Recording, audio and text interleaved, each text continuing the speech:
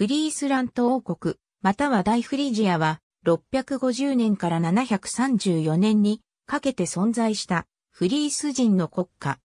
中心地はユトレヒトでズウィンからビスワ川にかけての海岸沿いの長大な領域にまたがっていたが、734年のボーン川の戦いでフランク王国に敗れ滅亡した。当時ヨーロッパの広い範囲で育ちつつあった封建制は全く見られず、小国が林立しながら外国の侵攻に際しては指導者を選出して団結して抵抗した。古代にはゾイデル海とエムス川の間の低地領域にフリーシー人が住んでいた。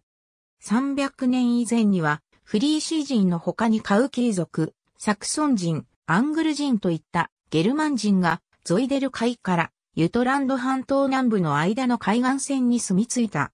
これらの民族は物質文化を共有していたため、考古学的に特定することができない。一世紀のローマ帝国の文書には、二人のフリースラントの王、マロリクスとベッリトゥスがローマを訪れたことが記録されている。400年頃以降には、フリーシー人の考古学的な物証がなく、土地を追われ消滅したものと考えられる。民族大同時代以降、新たにフリース人が形成され、ネーデルラントの北部や西部に定住した。これは、アングル人、サクソン人、ジュート人、フリーシー人が混合したものと考えられている。フリース人の諸部族は、先人以外は緩い結束しか持たず、特定の部族が強大化することもなかった。7世紀の半ばになると、独特の王権が生まれ、フリース人の最大半島を築いた。初期のフリース人に関する記録によると、エセリング、フリリングという名前が見られる。どちらも自由フリジア人という意味に通じている。またフリースラントにはラテンもしくはリテンと呼ばれるノードがいた。現存する資料に残っているフリースラント王は3人しかいない。なお、フランクの資料では彼らを王ではなく、公と呼んでいる。アルドギズル王の下で、フリース人はフランク王国9歳、エブロインと衝突した。この時代、アルドギスル王は自らの力でフランク人を押し返す力を持っていた。678年にはイングランドのキリスト教聖職者でフランク人と対立していたウィルフリドを招き艦隊した。フリースラントのシャット銀貨710年頃735年、レッドボットの時代には対フランクの情勢が大きく変わった。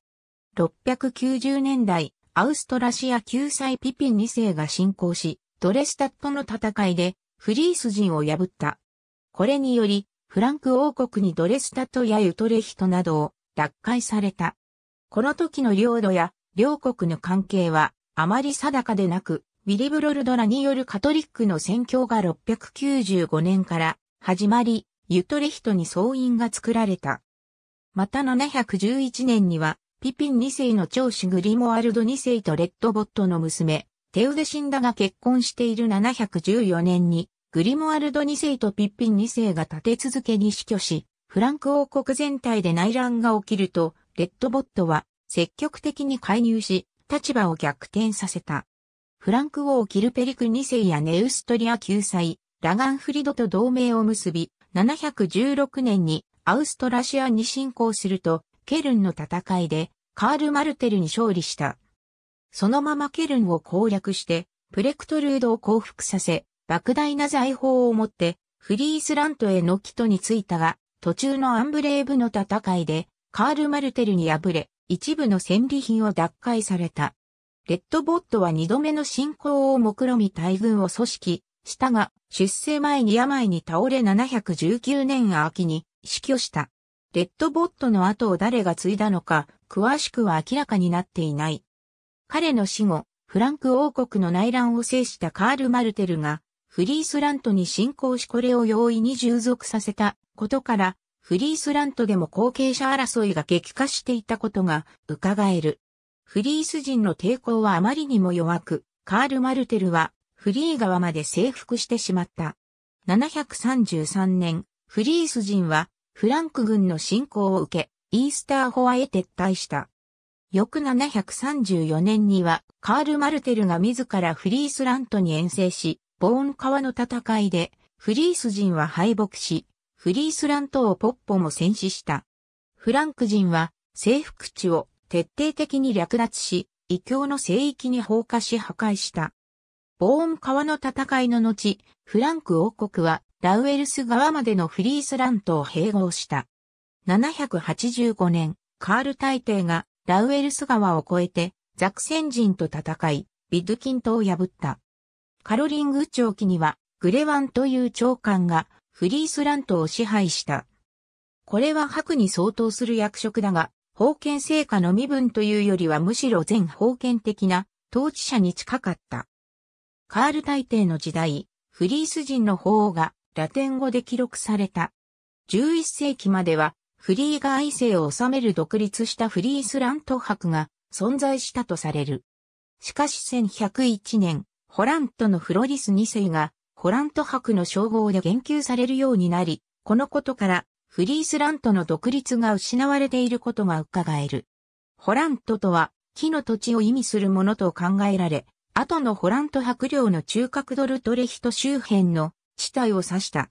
1291年、ホラント伯、フロリス5世は自らをホラントゼーラント伯、フリースラントの領主と名乗り始めた。この称号は後に、ホラント伯領が、エノー伯、バイエルンシュトラウビング、ブルゴーニュ公国へと併合されていく過程でも継承されていった。同時にその称号は次第に意味を失っていき、最後のフリースラント博フェリペ2世の時には、その称号はフェリペ2世自身の長い称号の中途に渦漏れた位置、称号に過ぎないものとなった。ありがとうございます。